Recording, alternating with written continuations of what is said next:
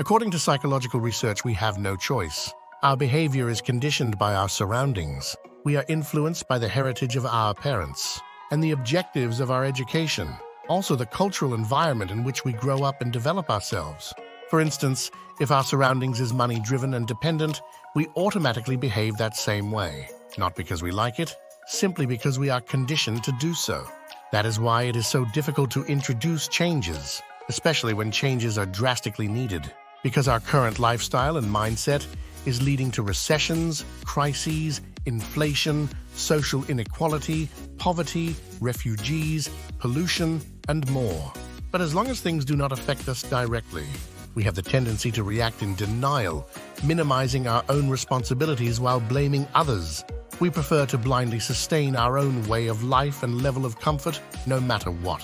This psychological reality is not only the case at individual level, it also affects institutions and their leadership if they are active in the same environment. If we ourselves tend to avoid making choices that impact our comfort, how then can necessary changes be produced? There are three circumstances that challenge us to introduce changes in our lives. The first and obvious one is when we are confronted with a general crisis or recession and need to act. A second one is when we ourselves need to make existential choices due to private circumstances, such as a divorce or the loss of a job.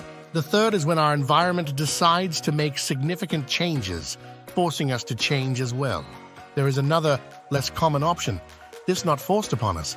It is a voluntary one. This is when we all together, people and surroundings, decide to make the relevant changes at the same time. This fourth option, the common news story, is what we experiment with at Sustainocracy we use our five essential human values for our sustainable existence. For instance, with the challenge to create healthy, self-sustaining cities or regions together. This choice is then awareness-driven. It involves everyone, meaning all local citizens, government, science, businesses, and schools all together. Such options can be prioritized around a variety of topics, such as health and air quality, regenerative regional food self-sufficiency, social inclusion and integration in neighborhood communities. Currently, such changes are developed with a positive community sense initiated by someone or a small group of people. Gradually, more and more participate, creating a new lifestyle and mainstream mindset together. Thanks to the switch and togetherness, our lifestyle improves, so does our health. We experience less negative pressure, our taxes can be reduced, including many rules and regulation. Even institutional leaders and elite are happy because they can equally concentrate on real value creation, instead of dealing eternally with the remediation of social or environmental problems. It all takes someone to take that first step, guided by our existential values.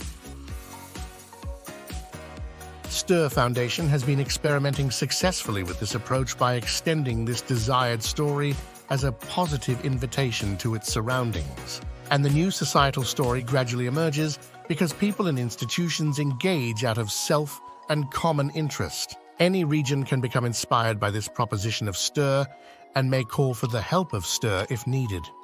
With the engagement with sustainocracy and our essential human values for our sustainable existence as a shared responsibility for all local citizens and institutions alike, we do have a choice.